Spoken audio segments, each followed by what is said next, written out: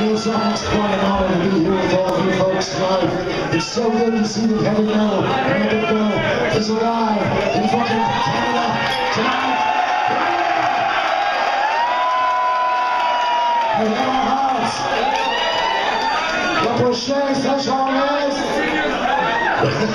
What's up, man? It's cheery, but I'm trying. I'm trying, man. Road of Kings!